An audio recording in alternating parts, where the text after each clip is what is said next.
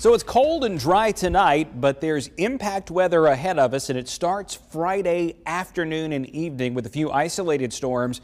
But then more widespread thunderstorms will come in after 10 p.m. on Friday. So that's step number one. Step number two here is Saturday morning. Those storms from Friday night, well, they'll be coming to an end early Saturday.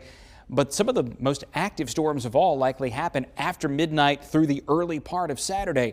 Sunday's a dry day, and then we have more impact weather coming up on Monday. Scattered severe thunderstorms. I think the greatest threat Monday may end up coming from some high wind and hail, maybe some large hail, given how unstable the atmosphere will be around here. And all of that, a hallmark of the time of year that we are moving into. The next four or five weeks, right about the peak of severe weather season for central Alabama. No rain tomorrow and Thursday. We do bring it back Friday afternoon, but it's a medium impact because not everybody gets rain on Friday.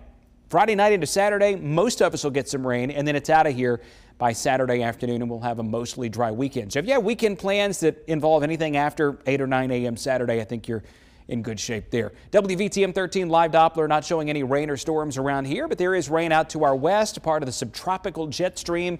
This is not the branch of the jet that often brings really stormy weather. That's the northern branch, and it has a big dip in it here over the Pacific that's slamming California with more bad weather.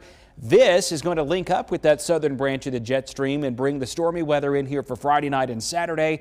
And then we just continue with more and more disturbances through Monday and then much of next week. We'll feature some daily chances of storms. Temperatures dropping through the 50s down into the upper 30s by tomorrow morning.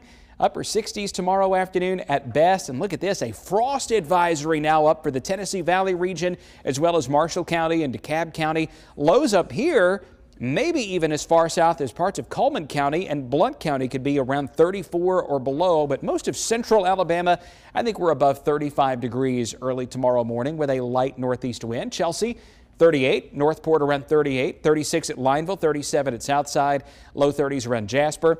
In the 60s tomorrow afternoon and tomorrow evening, still looking mild and dry. So we've got the impact weather coming in on Friday as well as early Saturday. Sunday is nice. Monday, we get another round of potentially heavy thunderstorms. And when we look at the amount of instability we're going to have, some of those could be very intense and a few could even linger into Tuesday.